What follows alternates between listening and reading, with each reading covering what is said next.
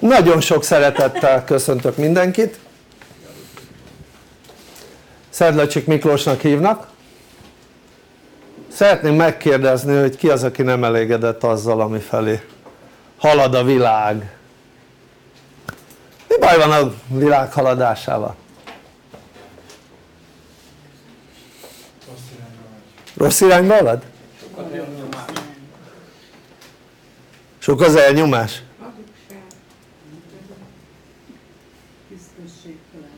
Tisztességtelenség, hazugság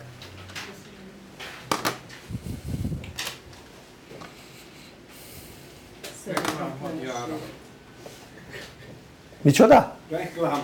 Ja? hitetlenség, reklám hitetlenség mibe? mibe hitetlenség? az ja? aha hát akkor miben hisznek? az anyagban az anyagban pénz, pénz, pénz, pénz pénz, pénz? mindig csak a pénz ja mert hogy mit, de, de mit a pénzt megeszik vagy mit csinálnak vele? nem hát nagyon anyagias világban anyagias világban ja, Dagobert bácsiként gyűjtik, hogy hogy? vagy még mit csinálnak a pénzzel az emberek? elkötik nem? vásárolnak rajta nem? hát na a pénz most most ott van egy halom pénz utána mit csinál vele? tüzet rak vele? vagy mi? inkább elköltik nem? de van aki mondjuk gyűjti és hát ugye ha megnézzük most hogyha valaki gyűjti a pénzt akkor ugye mi, mibe gyűjti? hát lehet mit tudom én a szekrényben nem gyűjteni de akkor annak az értéke csökken nem? ha berakja az ember a bankba ott nő vagy csökken? hát ott, ott is csökken nem? tehát csökken nem? tehát a bank nem ad annyi kamatot mint amennyi az infláció most már közel se sőt ugye van egy kezelési költsége annak a pénznek és ezáltal a pénzed az nem gyarapszik hanem úgy alapvetően fogy. Tehát az inflációt ha figyelembe vesszük akkor a pénzed a bankban nem gyarapszik hanem fogy. Igaz hogy a bank fölkínálhat olyan lehetőségeket hogy mondjuk fektes rizikósabb befektetésbe ahol nagyobb a várható hozam aztán vagy nagyobb vagy nem. Tehát vagy bejön az a várható hozam vagy nem, ezek részvények, kötvények ilyen befektetési alapok meg egyéb dolgok tehát lehet ilyenbe. De ugye minél nagyobb a hozamigérvény annál kevésbé biztonságos, annál kockázatosabb a befektetés. Na most ugye az a baj hogy egy olyan világban élünk ahol az embereknél elérték hogy ilyen úgy gondolkodjanak hogy vagy ne foglalkozzon a pénzének az értéké, értékállóságával. Ez az egyik probléma. Ez az egyik véglet. A másik véglet az hogy túl sok hasznot akar a pénzére. Na most ezzel kapcsolatban van egy alap dolog ez pedig a következő. Hogyha azt akarod hogy a pénzed fialjon nagy biztonsággal fialjon vagy a pénzed nagy biztonságban értékálló legyen akkor ne bízd másra a pénzedet. Hanem tanuld meg azt hogy te fektesd be a pénzedet. Na most a legtöbb ember az rábízza a bankra vagy egy brokerre te vagy valaki másra a pénzének a befektetését. És onnantól kezdve ha te rábízod valakire a pénzed befektetését akkor nyilvánvaló annak a személynek akinek rábízod a pénzedet hogy fektesse be annak nem az az érdeke hogy neked legyen jó hasznod hanem az az érdeke hogy neki legyen jó haszna ami azt jelenti hogyha egy ember nem tanulja meg hogy hogyan bánjon a pénzzel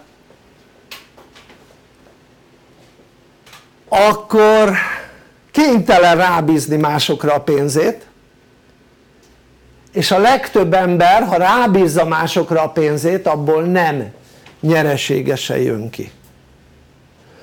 Mondhatjuk azt hogyha az emberek rábízzák másokra a pénzüket akkor tízből egy ember jön ki nyereségesen. Kilenc viszont bukik.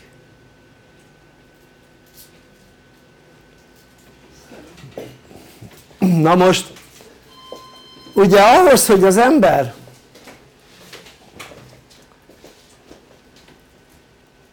a pénzét pénzéből pénzt csináljon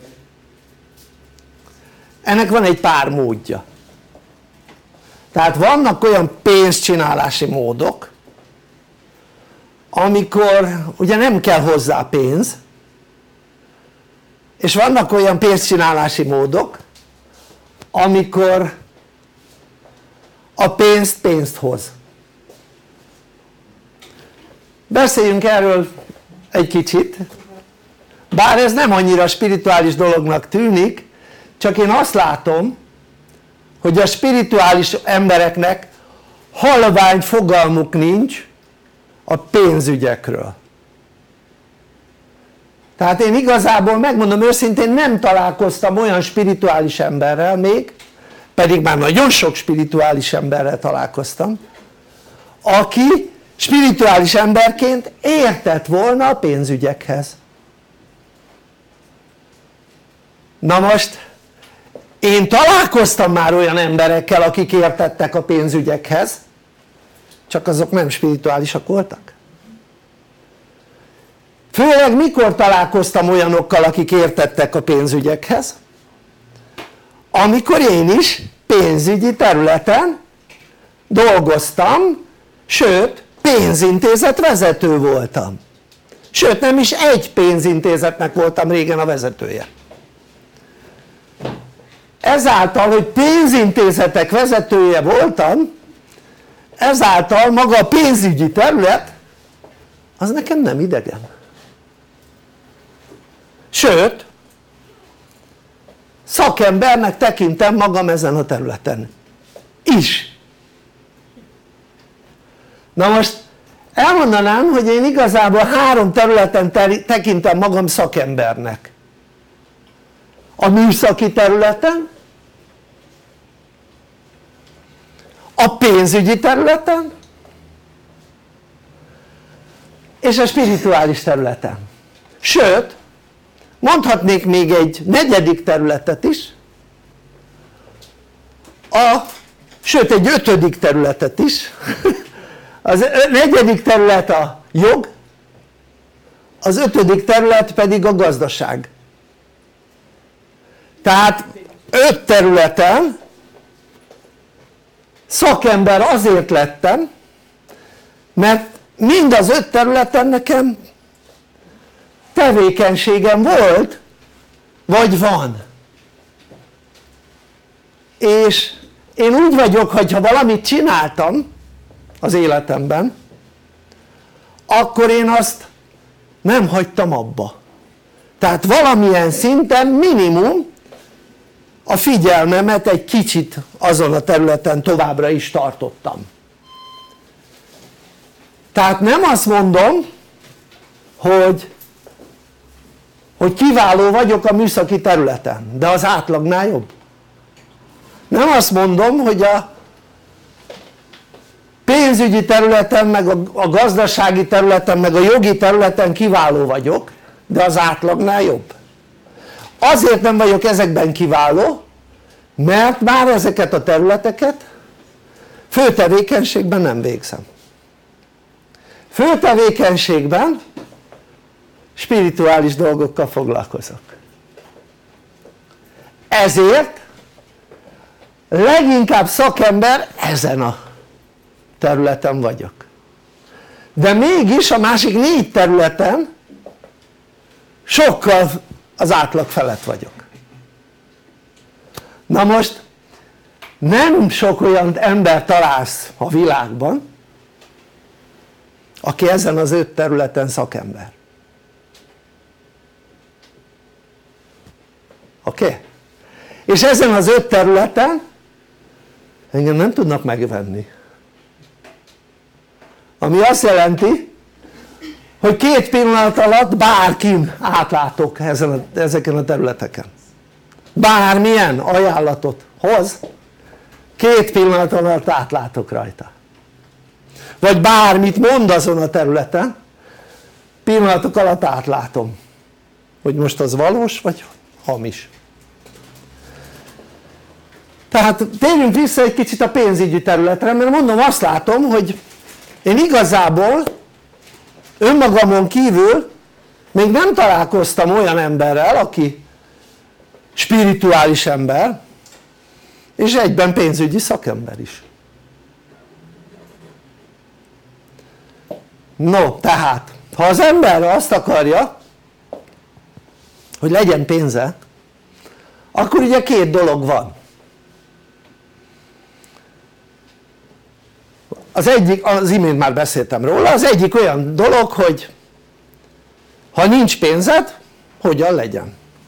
A másik hogyha van pénzed akkor a pénzedet hogyan gyarapítsd? Ez két különböző dolog. Tehát az egyik dolog hogyha az embernek nincs pénze akkor a következőt teheti eladja a munkaerejét oké? Okay? tehát elmegy alkalmazottnak vagy olyan típusú vállalkozónak ahol nem szükséges befektetés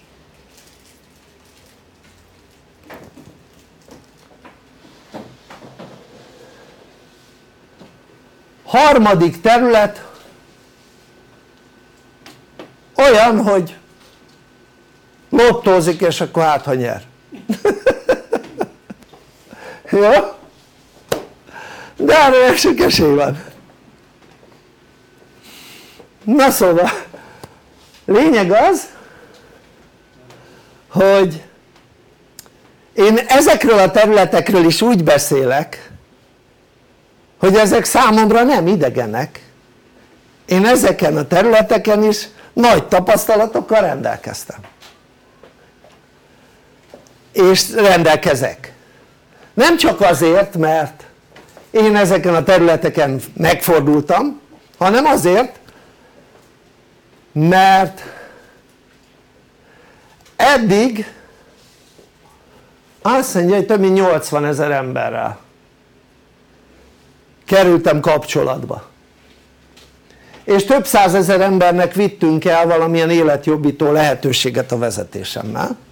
Az elmúlt 29 év során illetve 28 év során. És ezáltal elég sok tapasztalatra tettem szert.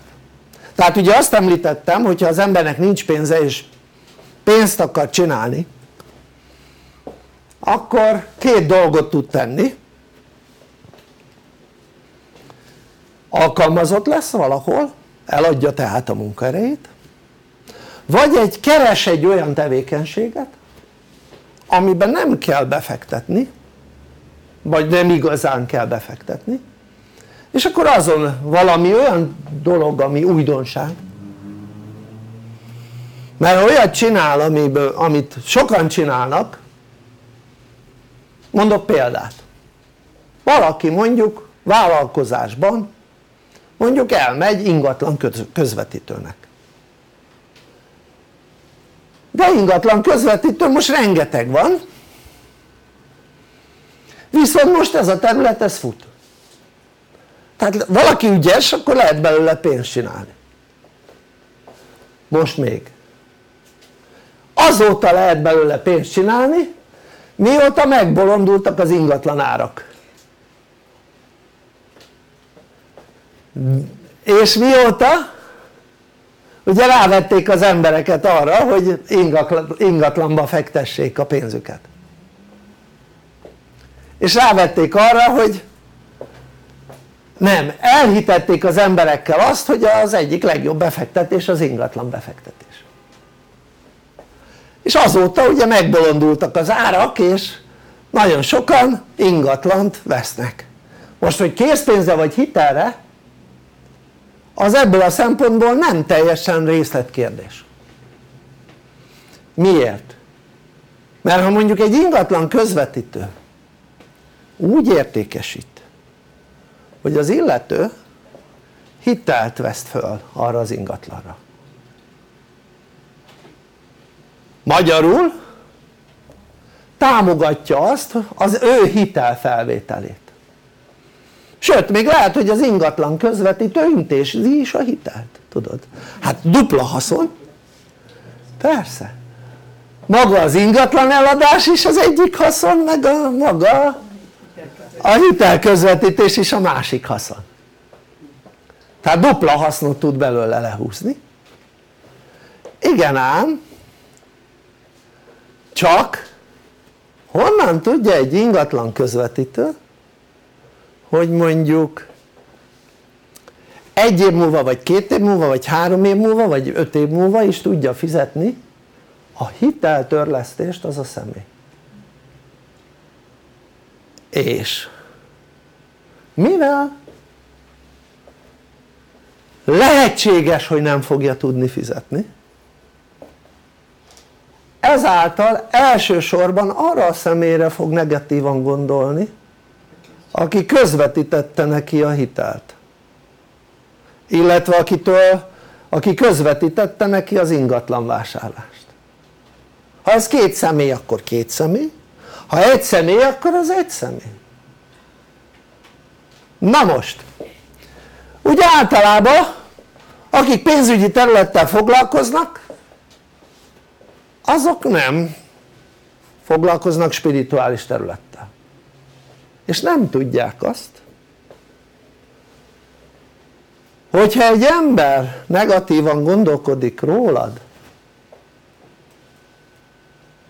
vagy több ember negatívan gondolkodik rólad vagy minél több ember negatívan gondolkodik rólad neked annál több problémád lesz az életedben. Ezt ők nem tudják az egy dolog hogy pénzügyileg most fut a szekér nekik de nem csak az ingatlan közvetítésről lehet beszélni hanem most több gazdasági terület van ami viszonylag szalad.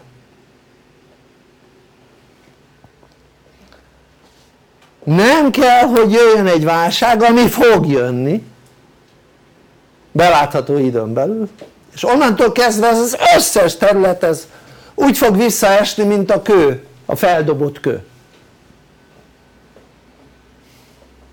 És onnantól kezdve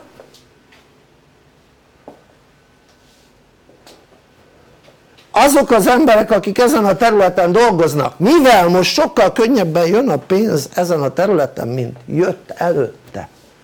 A könnyen jött pénz könnyen megy alapon. Igazából ők nem gondolnak a jövőre, a legtöbb ember arra gondol hogy a jövő legalább olyan jó lesz mint a jelen. És magyarul azt a pénzt amit többletben most keresnek azt szépen fölélik. És bejön a válság és szívnak majd mint a boci. De ugyanúgy azok akik 10 milliókat fölvesznek a banktól hitelbe és ugye tudjuk hogy egy ingatlan vásárlás esetén ilyen 25 év fölötti időtartamokról beszélünk. Na most ha valaki tehát én soha nem vettem föl úgy hitelt régen, már nem veszek föl hitelt hogy előre ne gondoltam volna arra hogy mi van akkor ha nem tudom törleszteni a hitelt tehát én maximum életemben 5 évre vettem föl hitelt. Max. Nem 25-re de 5 évnél gondolkodtam azon hogy mi lesz akkor ha nem tudom törleszteni a hitelt. És nekem arra volt megoldásom. A legtöbb ember úgy vesz föl 25 évre hitelt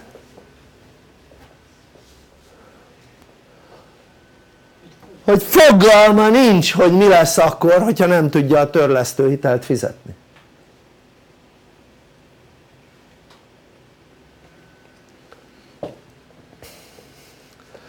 Na most tehát még egyszer mondom bárki olyan területtel foglalkozik ami most ugye pozitívnak tűnhet, hát milyen jó dolog hogy segítünk az embereknek mondjuk ingatlant venni. Hozzá segítjük mondjuk a házhoz vagy a lakáshoz vagy a hitelhez hogy meg tudja venni. De arra nem gondolnak hogy mi lesz akkor ha nem tudják fizetni a hitelt. Már pedig nem kell nagy gazdasági válságnak lenni hogy az emberek a hitelt ne tudják fizetni. Elmondom hogy miért. Mert ezek a dolgok tehát hogy az emberek hitelt vegyenek föl úgy vannak kitalálva hogy a nagy része ne tudja kifizetni a hitelt most az ingatlanról beszélek elsősorban nem áruvásárlási vagy autóvásárlási hitelről. Tehát hogy ne tudja kifizetni a hitelt ezáltal a bank hozzájusson az ingatlanhoz. Világos ez? tehát ezek direkt így vannak kitalálva. Most ezt valaki nem látja át hogy ez így van kitalálva. Tehát nem az emberek két szép személyére adják a hitelt hanem azért hogy hozzájussanak az emberek által hitelre megvásárolt ingatlanokhoz. Világos ez? így vannak kitalálva a világon mindenütt ezek a konstrukciók ha valaki ezt nem látja át hogy így van kitalálva akkor nem a jelenben él. Ez nem szocializmus ahol a bankok a szocialista állam tulajdonában lennének. Ezek abszolút profitorientált személyek kezében lévő, magánszemélyek kezében lévő bankok. Sokkal könnyebb átvágni olyan országokban élő embereket akik előtte szocialista országban éltek. Mert azt hiszik hogy úgy működnek a bankok jelenben mint a múltban amikor szocializmus volt. Már nincsenek olyanok hogy állami bankok. Ha egy állam megvesz egy bankot valamilyen oknál fogva akkor azért veszi meg hogy megmentse. És utána gyorsan megszabadul tőle vagy nagy részben megszabadul tőle és egy kis tulajdona marad a bankban.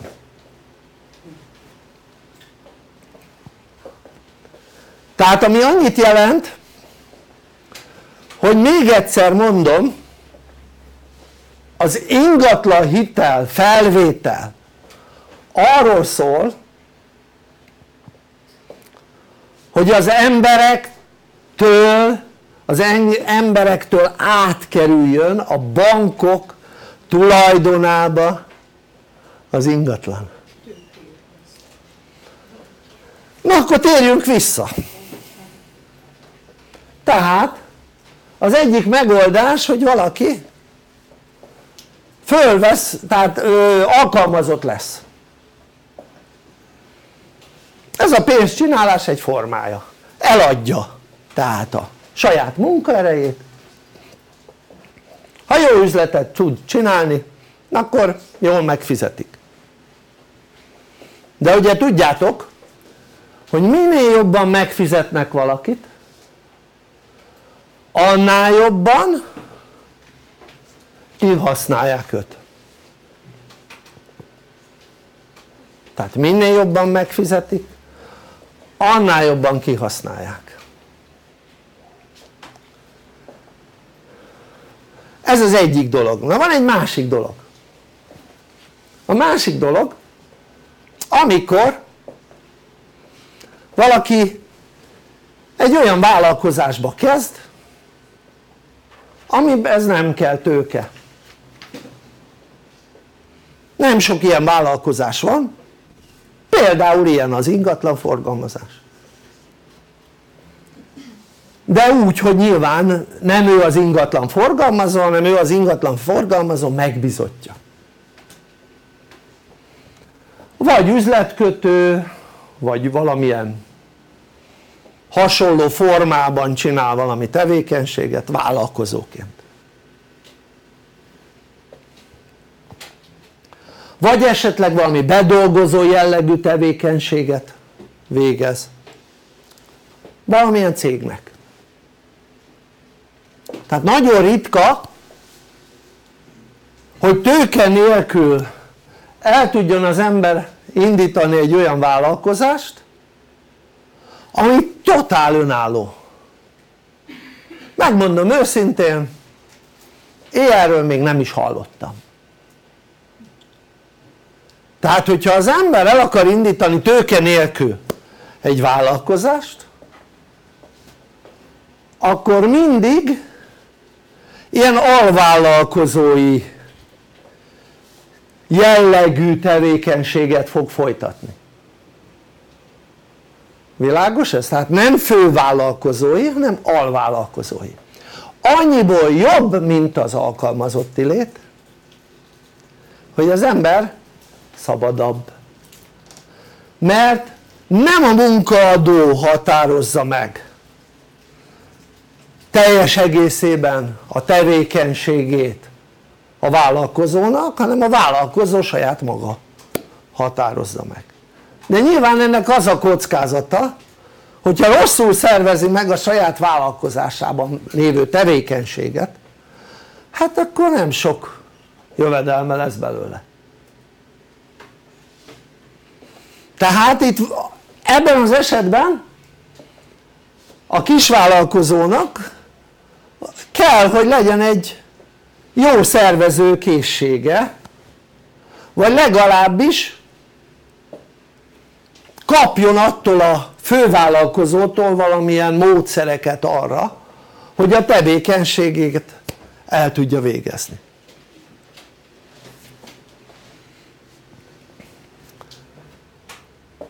Ez a két terület van ahol tőke nélkül tud az ember pénzt csinálni. Akkor nézzük meg hogy tőkével mit tud az ember kezdeni. Az egyik tipikus eset hogyha valakinek van pénze akkor odaadja egy másik személynek hogy azt fektessen be, erről beszéltem az elején. De nyilvánvaló hogy annak a személynek elsősorban az, legyen, az, lesz az érdeke hogy neki abból minél több haszna legyen és nem hogy neked minél több hasznod legyen, ez nem kérdés. Ez érvényes a bankokra is bármilyen broker cégre is. Teljesen érvényes. Ha egy ember elkezd saját maga befektetni mert megtanulja a befektetési területeket és mondjuk kiképzi magát a tőzsdei befektetésekre. És ugye a tőzsde az úgy működik hogy pénz abból keletkezik valaki számára valaki számára akkor keletkezik pénz ha más azt a pénzt elveszíti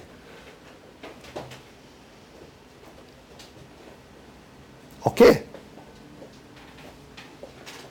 lehet olyan hogy valaminek az értéke nő hogy lehet mérni azt hogy egy érték nő? az azt jelenti hogy megnő érte a kereslet. Tehát csak akkor tud valaminek az értéke nőni ezt jó ha tudjátok ha a kereslet nő iránta. Ha a kereslet valami iránt nem nő akkor annak a dolognak nem tud nőni az értéke. Világos ez? Tehát mindig akkor nő valaminek az értéke ha nőtt a kereslet. Most nem inflációról beszélek hanem értékről beszélek. Tehát ne keverjük össze a kettőt. Tehát amikor valami drágul akkor lehet egyszerűen csak az inflációt követi. De az értéke az ugyanannyi mint előtte volt.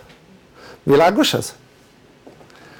Tehát amikor bármilyen területen értéknövekedésről beszélünk akkor azért van értéknövekedés mert nőtt iránta a kereslet. Tehát ez befolyásolja, na nézzük meg az értékcsökkenés. Az értékcsökkenés két dologból tud létrejönni. Az egyik a természetes értékcsökkenés amikor valami avul elhasználódik stb. stb. de vannak olyan dolgok amik nem avulnak el meg nem használódnak el amik nem avulnak el, nem használódnak el azoknak abból lehet értékcsökkenése hogyha csökken a kereslet rá, a iránta oké? Okay? és minél nagyobb mértékben csökken a kereslet iránta annál nagyobb az értékcsökkenése na most az a tőzsde ezen az alapon működik kereslet kínálat alapon akkor nő egy részvénynek vagy egy kötvénynek az értéke ha nő iránta a kereslet. Akkor csökken egy kötvénynek egy részvénynek az értéke ha csökken iránta a kereslet.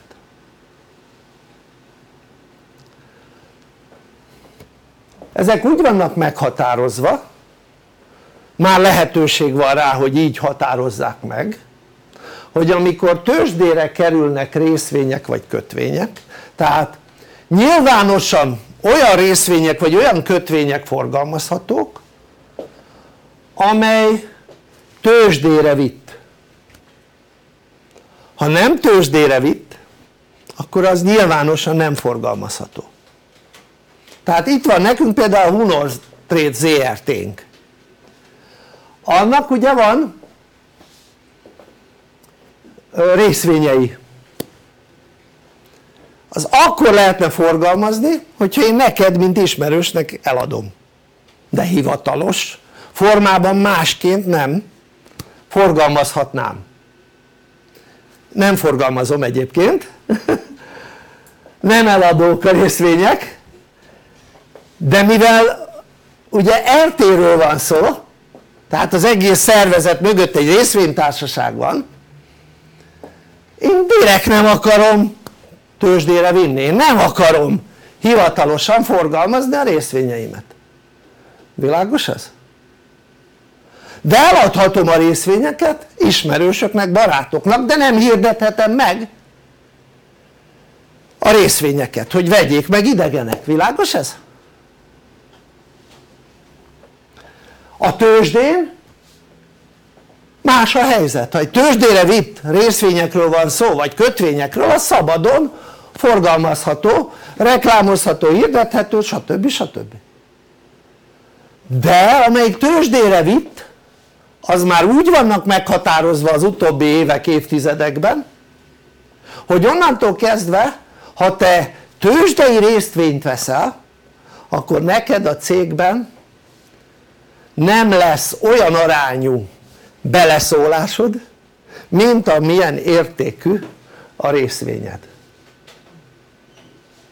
világos ez? tehát hogyha mondjuk megveszed a, egy tőzsdén forgalmazott cégnek a részvényének a 10%-át, csak most mondtam valamit az úgy lesz meghatározva hogy neked a szavazati jogod nem lesz 10% világos ez? tehát a beleszólásod a részvénytársaság működésébe nem lesz 10% hát erre törvények vannak hogy hogy szabályozzák. Szóval a lényeg az hogy amikor az ember tőzsdére rakja a pénzét akkor kötvényt vagy részvényt vásárol. Ha olcsón sikerült megvenni részvényt vagy kötvényt akkor azért sikerült olcsón megvenni mert éppen sokan adtak el és ezáltal lement az ára. Ha drágán sikerült megvenni egy részvényt vagy egy kötvényt akkor azért sikerült drágán megvenni mert éppen sokan akartak akkor vásárolni amikor az ember mondjuk részvényeket vagy kötvényeket vásárol akkor van egy valós értéke annak a részvénynek vagy egy kötvénynek. Az a kibocsátott névérték. És van egy virtuális értéke. A virtuális azt jelenti hogyha annál jóval többet ér az azért ér többet mert annyit adnak most érte. Egyes emberek. Világos ez? tehát most mondok egy dolgot. Mit tudom én van egy bútor amit vennél mondjuk 50 ezer forintért. Csak mondtam egy összeget. Ha azt a bútort egyesek megveszik 150 ér akkor az már az a bútor nem 50 ezret ér hanem 150-et, nem tudom világosan hiába előtte simán meg lehetett venni 50 ezerért érthető ez? tehát amikor az ember ilyen dolgokba fekteti a pénzét akkor mindig tudnia kell azt hogy ott egy virtuális egy ilyen generált olyan összeg is van ami mögött nincs érték ma a világ tőzsdei cégeinek 90 akárhány százaléka közel nem ér annyit anyagilag, anyagi szempontból mint amennyi a virtuális értéke világos ez? magyarul akárhogy nézzük ez törvényes csalás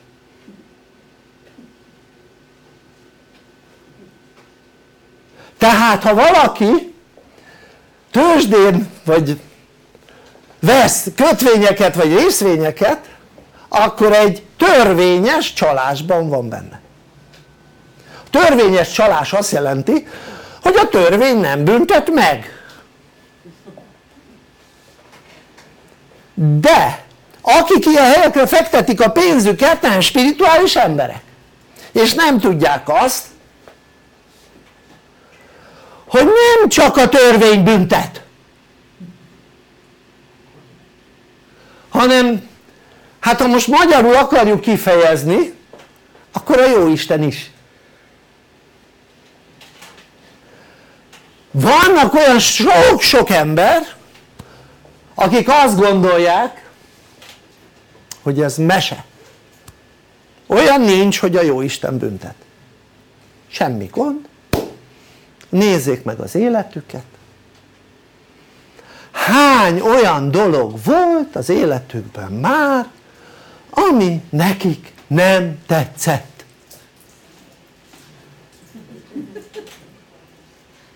És nyugodtan rá lehet fogni hogy véletlenül történt vele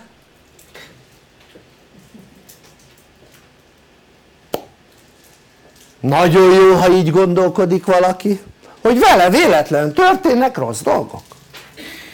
Ennek csak egy következménye lesz hogy soha nem fogja megtanulni megakadályozni a idézőjelbe tett véletlen történéseket. Illetve megelőzni a idézőjeles véletlen történéseket tehát lehet azt mondani bármire hogy hát ez véletlen. Tök jó. Az azt jelenti az ő számára én ezt teljesen el tudom nála fogadni. Az ő számára ezt tudom hogy azt fogja jelenteni hogy ő nem akar tudást szerezni abban hogy a jövőben annak a problémának az előfordulását képes legyen megelőzni világos ez? rengeteg-rengeteg ember működik ezen az alapon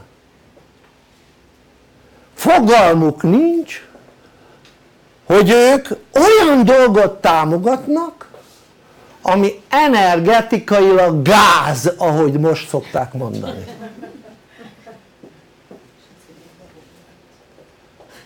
tehát amikor az ember olyat támogat mondjuk a befektetésével hogy egy cég értéke tovább gyarapodjon virtuálisan akkor ez energetikailag gáz. Ha ismeri az ilyen trendeket hogy most egy cégnél mi várható akkor lehet hogy lesz belőle haszna a tőzsdén minden ötödik befektetés haszonnal zárul de négyből öt veszteséggel zárul. Vagy ötből négy? Ötből négy, igen. Ötből négy veszteséggel zár, helyes. Na most tételezzük fel hogy nyerességgel zár. Hát ha valaki veszteséggel zárt akkor eleve már az negatív esemény energetikailag már negatív. Ha nyereséggel zár akkor támogatta nyereséget hozott ki belőle saját maga számára egy olyan szervezetnek a virtuális gyarapodását amely nem ér annyit. Világos ez? mondok egy példát hogy megértsétek most a tőzsdén lévő cégeket ha azért az árért értékesítenék. Ami értéket ér, érnek a, a, a tőzsdei árfolyamuk alapján akkor gyakorlatilag a bolygón nincs annyi pénz. Értitek? de nem lehetne megvenni akkor hogy lehet valamit értékesíteni úgy vagy valamiket értékesíteni úgy hogy gyakorlatilag lehetetlen lenne világos ez? na most tehát én ezt is kipróbáltam ugye akkor bontogattam a szárnyaimat a spirituális területen amikor kipróbáltam a tőzsdét. Szerintetek? Hogy járhattam vele?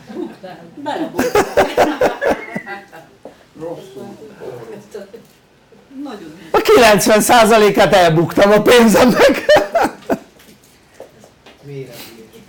Így van megtanított rögtön az elején hogy ez nem az én területem oké? Okay? pedig előtte én már foglalkoztam tőzsdei befektetéssel a pénzügyi mikor a pénzintézet vezető voltam de akkor nem a saját pénzemmel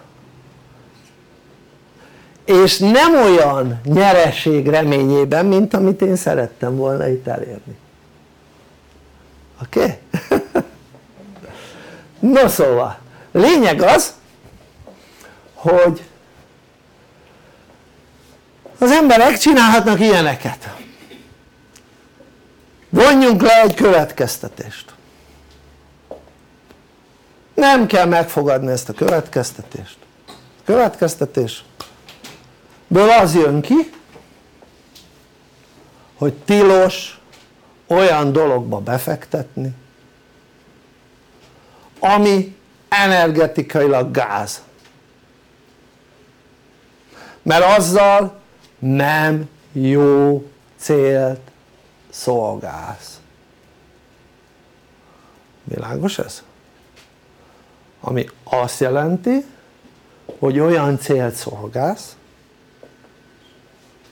ami nem az emberek fejlődését, növekedését, gyarapodását szolgálja hanem látszólag lehet hogy ezt szolgálja, látszólag. De köze nincs hozzá hanem pont az emberek lehúzásáról szól. Na most mondok példát.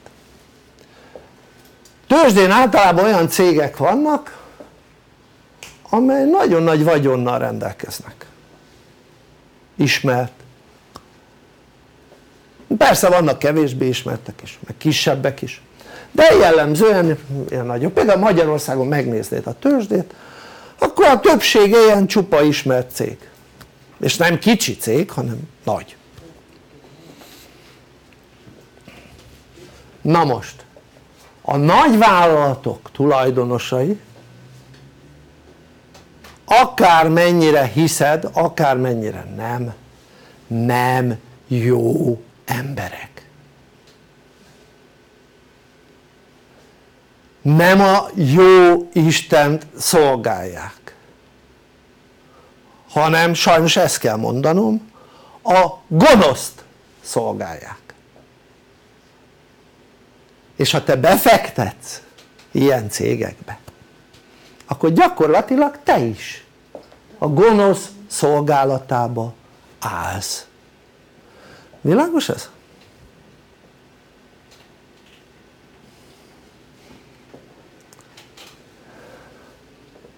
akkor van más lehetőség az embernek hogy gyarapítsa a pénzét, nem csak így természetesen ugye a klasszikus pénzgyarapítás hogy az ember belefog valami olyan üzleti tevékenységbe és itt már szándékosan nem vállalkozói tevékenységet mondtam üzleti tevékenységbe amibe befektet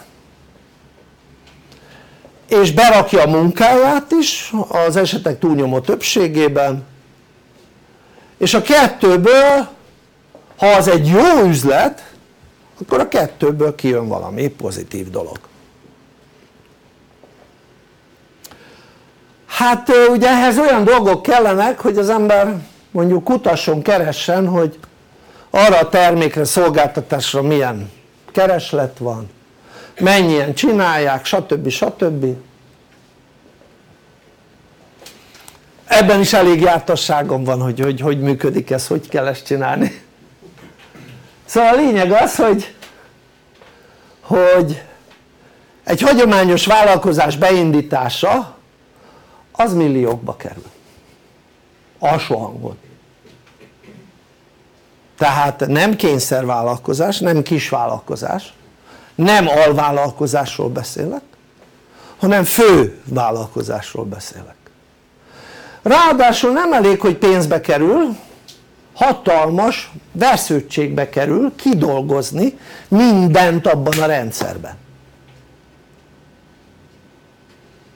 mert akkor fog jól működni egy vállalkozás, nem elég az hogy elkezdi valaki. Nem elég például hogy hogy mit tudom én mondok egy dolgot, itt nem elég az hogy valaki autószerelő mester és létrehoz egy műhelyt mondjuk 15 millió forintból. És akkor még olcsón megúszta. Hanem hát majd oda kell hogy jöjjenek autók illetve tulajdonosok akik oda hozzák az autójukat ami azt jelenti hogy ezen a területen is szakembernek kell lenni és meg kell azt szervezni hogyha mondjuk egymás után hozzák az autókat akkor milyen sorrendben képes mondjuk csinálni majd képes lesz-e megcsinálni stb. stb. stb. tehát kell egy bármilyen vállalkozás ilyen jellegű vállalkozás elindításához vagy bármilyen olyan vállalkozás amit le után fővállalkozás is majd gyarapodhat kell jó szervezőkészséggel megáldott szakember vagy a tulajdonosnak kell ilyen jó szervezőképességgel megáldottnak lennie. Tehát nem elég az hogy neki tőkéje van meg nem elég az hogy ért a szakmához. Hát most gondoljátok végig mit tudom én mondjuk Tesla találmányait.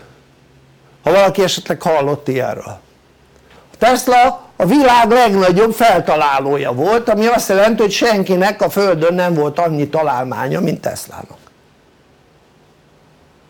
és hány találmányát ismersz? hány találmányát tudnál felsorolni? érted? a legtöbb ember egyet se tudna felsorolni és tudod miért nem? mert nem tudta eladni a találmányait világos ez? Tehát a szervezésben nulla volt. Tehát hiába van egy jó szakember, egy jó észre megáldott ember a szervezésben nulla. Ha pedig ugye fölvesz egy olyan embert aki jó szervező készséggel megáldott akkor azért nem keveset kér akkor ez egy további befektetés. Még többe kerül a vállalkozásának az elindítása és működtetése.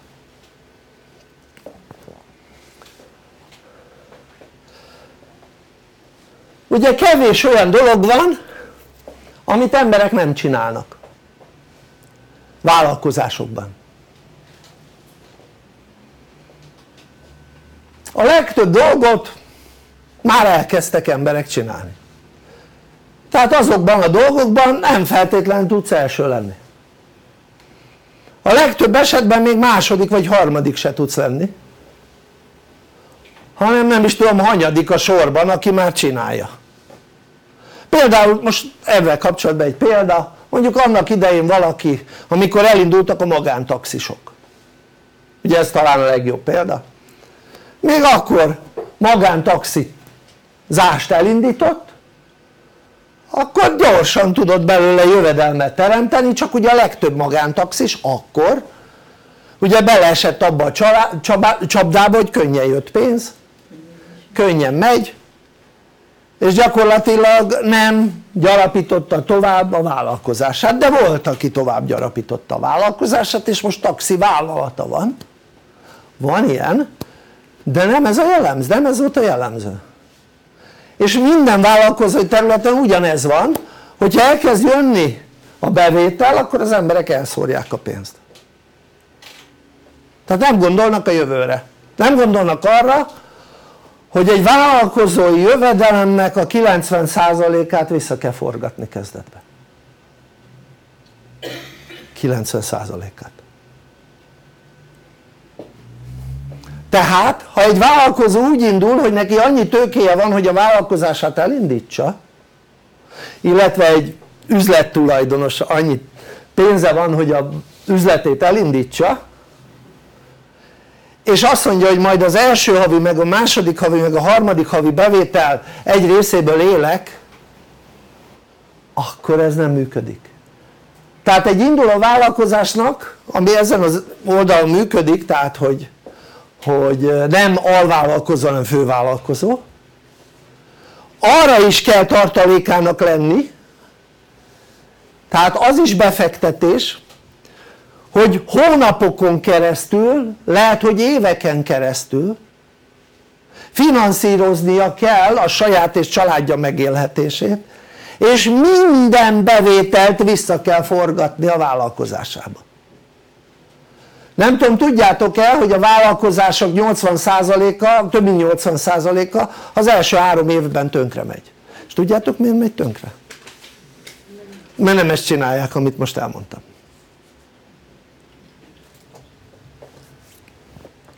tehát ami azt jelenti hogy egy vállalkozás amiben az ember befektetéssel indul az ritka olyan hogy mondjuk az első évben nullán vagy ritka érted? tehát ami azt jelenti hogy az ilyen jellegű vállalkozások a nagy részében körülbelül kettő, három vagy még több év után vagy nullán érted? A nullán azt jelenti hogy amennyit beraktál na annyi bevétel már bejött. De még nyereséged egy vas sincs.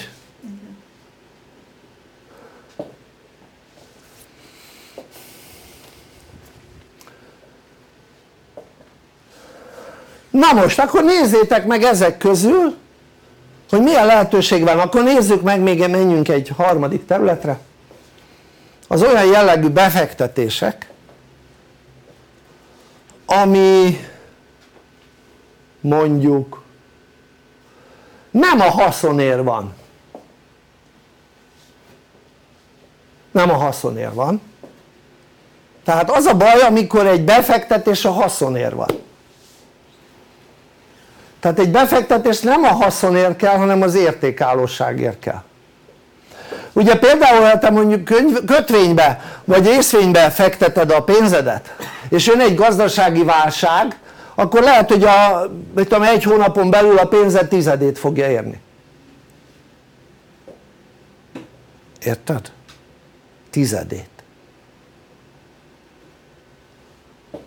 Ha veszel egy ingatlant és hirtelen lezuhannak az ingatlan árok akkor lehet hogy felét éri annak amit, amiért vetted. Főleg ha hitelbe vetted vagy hitelből vetted akkor meg aztán jó nézel ki.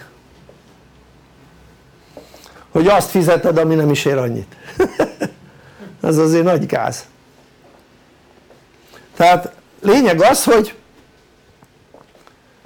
ha az ember befektet akkor ugye kétféle olyan megoldás van hogy annyi befektetésed van hogy akár évekig tudod finanszírozni magadat.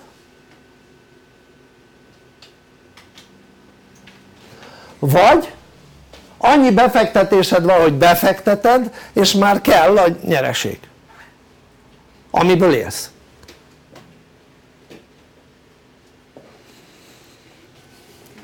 Na most ha olyan befektetésbe rakod a pénzed mondjuk ami ingatlan azzal az a gond hogy hogy jutsz hozzá ha mondjuk csak a tizedére van szükséged? Tehát mondjuk a tizedérhez, az ingatlan árának a tizedéhez hogy jutsz hozzá? nem tudsz hozzájutni. Tehát olyan befektetése van az embernek szüksége ami ha valami gond van akkor mobilizálható most gondolj bele mit tudom hogy valakinek van 40 millió forintja befekteti egy ingatlanba és mondjuk lenne egy olyan üzleti lehetőség amiben 5 millió forint kellene honnan szed 5 millió forintot? fölvesz az ingatlanjára hitelt? akkor nem százas na ez a baj ezzel. Nem tudsz kivenni belőle pénzt. Nem tudod eladni az egyötödét vagy egy mit tudom, 10%-át érted? tehát ha az ember befektetésbe gondolkodik akkor nem nyereségben kell gondolkodni. De nem is olyanba kell befektetni ami veszteséget hoz egy válság esetén mondjuk. Vagy egy kereslet csökkenés esetén, nem kell válság. Csak mit tudom azon a területen hirtelen azt mondják hogy mindenki elad. Vagy a kutya se akarja azt venni innentől kezdve. Tehát mondok példát, itt van például a bitcoin. A bitcoin teljes értéke gyakorlatilag 100%-ban virtuális. Ott semmi anyagi érték nincs a teljes egészében virtuális. A bitcoin már fölment volt hogy 12 ezerre 12 ezer forintra. Azt én forintra vagy dollárra? már mindegy, fölment 12 ezer, lehet hogy dollárra, mindegy. Fölment és majd visszaballagott mit tudom 4 ezerre de elindult mondjuk 500-ról csak most mondtam valamit, vagy 100-ról, de itt tudom én miről. De az egész az virtuális. Tehát az emberek veszik a virtuális semmit és egyszer csak mit tudom én valaki rájön arra hogy hú hát ez egy virtuális semmi. Ha gyorsan meg kéne tőle szabadulni és egyre többen meg akarnak szabadulni akkor úgy visszaesik arra az ára amiből elindult vagy még az alá mint a húzat. Tehát ami azt jelenti hogy az ilyen dolgok aminek nincs valós értéke vagy a valós értéke töredéke annak mint amit kiadsz érte. Tehát veszel egy ingatlant ami tényleg jobban belegondolsz ér mondjuk 5 milliót és megveszed 30 ért akkor nagy baromságot csináltál érted? persze most jónak tűnik mert a hónap eladnál lehet hogy el tudnád adni 31 ért de nem ezért vetted érted? hanem arról azért vetted hogy értékálló legyen a pénzed mert az emberek azért vesznek ingatlant hogy megtartsák a pénzüknek az értékét tehát hogyha olyat akar az ember venni aminek a pénzének az értékét meg akarja tartani akkor akkor kell megvenni mikor olcsó. Nem amikor drága. Világos az? mikor az emberek fogyasztási cikkekbe fektetik a pénzüket na az a legnagyobb bukta. Az a legnagyobb bukta ami létezik.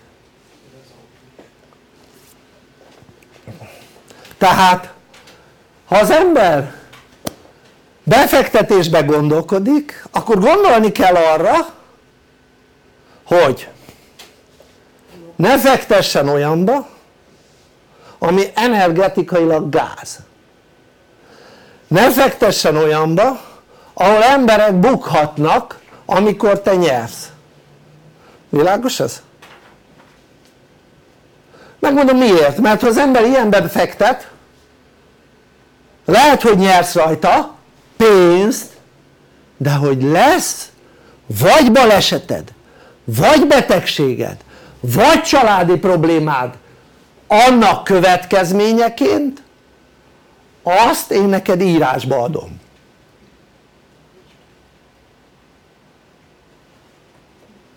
És nem anyagi szempontból annak következményeként hanem szellemi szempontból annak következményeként.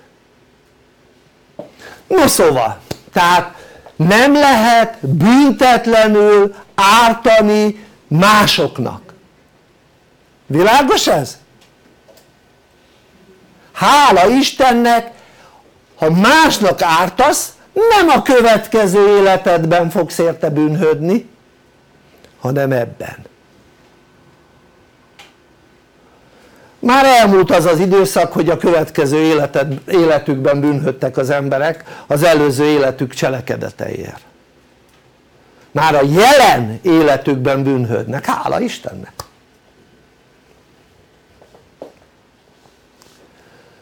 Tehát a másik probléma tehát ha az ember nem akar magának problémát akkor ne fektessen olyan dologba ami energetikailag problémás világos ez? ne fektessen, ez a másik dolog, olyan dologba se fektessen amin ha jön egy válság elbukod a pénzed jó részét vagy egy részét vagy az egészet akár érted? mert akkor meg minek fektettél be? ezért mindig olyanba kell fektetni hogy ne a kapzsiság uralkodjon rajtad hogy minél több haszon ide mindent hanem az uralkodjon rajtad hogy értékállóság tehát értékálló dologba kell fektetni na az meg nem az ingatlan jelen pillanatban. Gondolj bele veszel egy ingatlant jön egy földrengés mi lesz az ingatlanoddal? mondjuk tételezzük fel mondjuk nem csak a te ingatlanodat pusztítja el hanem mondjuk a fél ország ingatlanját akkor kérdezem én a biztosítók hogyan fogják azt kifizetni? sehogy világos ez? sehogy tehát neked akármilyen biztosításod van nincs annyi pénz amit egy hatalmas katasztrófa esetén kifizessenek világos ez?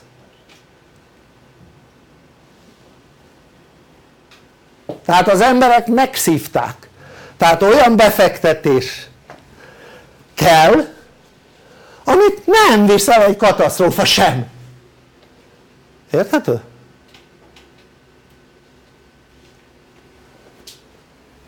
tehát így kell gondolkodni a befektetések terén ha pedig tevékenységet szeretnél és nincs óriási tőkéd akkor pedig az olyan típusú tevékenységben gondolkodhatsz ahol van egy fővállalkozó és a fővállalkozó lehetőséget biztosít számodra hogy te alvállalkozója legyél és átad módszereket oké? Okay? ahhoz hogy csinálj dolgokat? Ugye az alvállalkozói területen is sok olyan alvállalkozói terület van ahol szakembernek kell lenni az embernek. Tehát mit tudom én mondjuk tudom én valaki elmegy ruhát varni alvállalkozóként egy fővállalkozónak otthon dolgozik van egy varrógépe hát neki tudnia kell varni mert különben föl fog koppanni az álla. Világos ez? és nem fogja kiképezni a fővállalkozó mert keres olyanokat akik tudnak varni, kész. De vannak olyan szervezetek fővállalkozóként amely ilyen társ viszonyt létesítenek. Tehát ilyen társszerű viszonyt az azt jelenti hogy átadják minden technikát, módszert, eszközt ahhoz hogy te tevékenykedj. Nyilván ezek közt vannak olyanok mint például a franchise hogy sok millióba kerül hogy egy franchise jogot megkapja. De vannak olyan dolgok is mint például az üzletkötés vagy a hálózatépítés ami gyakorlatilag az üzletkötés egy korszerűbb formája ahol olyan módszereket, eszközöket, lehetőséget kapsz alvállalkozóként mint ha te fővállalkozó lennél. Az ilyen tevékenységnél fontos hogy ismerd a fővállalkozónak a korrektségét mert ezeknek a szervezeteknek a 80%-a legalább nem korrekt akkor fontos hogy az a tevékenység tényleg prosperáló legyen, működő legyen tehát tényleg működjön számodra is ennek meg olyan feltételei vannak hogy vajon a piacon mennyien csinálják, mekkora rá a kereslet stb. stb. Mi egy olyan lehetőséget kínálunk az emberek számára ami bolygó szinten teljesen egyedülálló. Tehát az egész bolygón egyedülálló, tehát mást bármit csinálhat azt tudja hogy hamarosan másolni fogják ha az egyedülálló. Na ezt ha másolják akkor hadd másolják úgyse fog működni, már próbálták úgyse fog működni. Eddig amiben én belekezdtem 94 óta ugye két olyan dologba kezdtem ezen kívül amit nem tudta senki sem másolni. És piacvezetők voltunk azon a területen. Mind a kettőn külön-külön. És senki nem tudta másolni pedig akarta. Na ez a terület is olyan amit lehet másolni csak senki nem fogja tudni. Mert azokat a tapasztalatokat amit én megéltem ha senki nem élte meg rajtam kívül. Világos ez? ezáltal gyakorlatilag mondhatjuk azt hogy garancia hogy egy egyedülálló tevékenységet végzünk és fogunk végezni ugye azt tudjátok még ott is ahol konkurenciák vannak általában hogyha az első jól működik akkor az óriási lépés előnyt lépés előnybe kerül a többiekkel szemben hát akkor hogyha még másolni se tudják mi egy olyan tevékenységet ajánlunk az emberek számára, kiknek ajánlunk? Elsősorban magánszemélyeknek. Bár vállalkozóknak is lehetne ajánlani mert amit ajánlunk az költségként leírható a vállalkozások számára. Sőt még az áfát is visszaigényelhetik.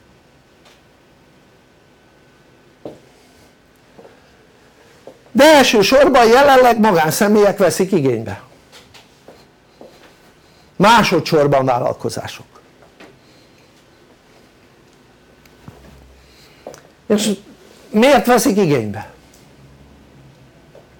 az ember egy olyan lény aki szeretné az életét úgy élni hogy lehetőleg minél kevesebb problémája legyen. És lehetőleg minél kevesebb gondja legyen. Tehát minél kevés, tehát minél gondmentesebb problémamentesebb életet na most az hogy az ember gond és problémamentes életet tudjon élni tudásra van szükség. Az életének minden olyan területére ahol ő működik. Nyilván arra nem kell ahol ő nem működik. Na most ez a tudás hogy az emberek jól működjenek az életük különböző területein ez eltitkolt és ezt az eltitkolt tudást én feloldottam oké? Okay? most már bárki számára elérhető az élete minden területére ahol ő működik az a tudás amivel ő jobbá tudja tenni az életét ez lehet önmagával kapcsolatos, párjával, gyerekével, szüleivel, családjával másokkal, a pénzzel, a munkájával, bármivel. Jogi dolgokkal, vagy akármivel, érted? persze még ezen kívül számos más terület van. Az elmúlt 9 évben az ember és az élet működésével kapcsolatban nem tudott felmerülni olyan gond vagy probléma amire ne lehetett volna itt nálunk megoldást találni világos ez?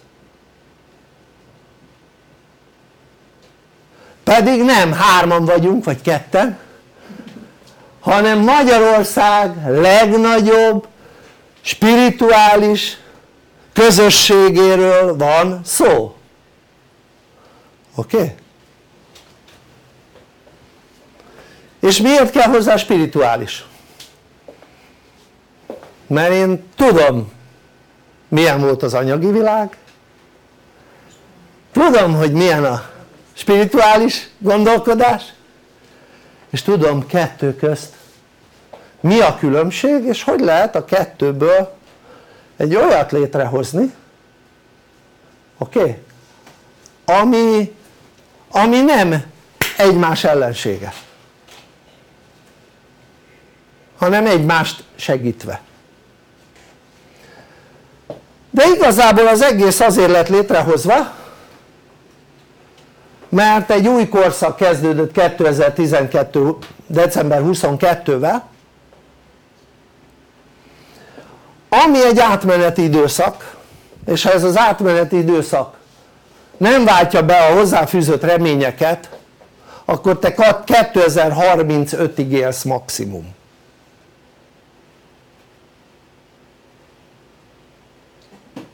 ha beváltja a hozzáfűzött reményeket akkor ezen a bolygón 2035-től aranykor lesz az aranykor pedig azt jelenti hogy az emberek képesek szeretetben, békében és boldogságban feltételek nélkül együttműködni oké? Okay?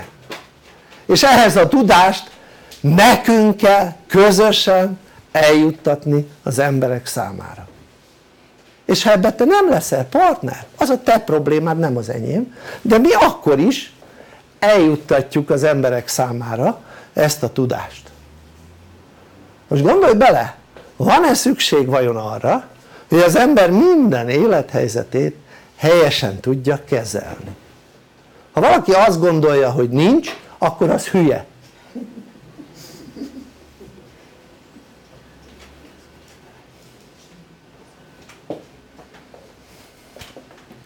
tehát lényeg az hogy egy csodálatos dolgot csinálunk egy korszakalkotó dolgot ami a történelemben eddig még nem fordult elő.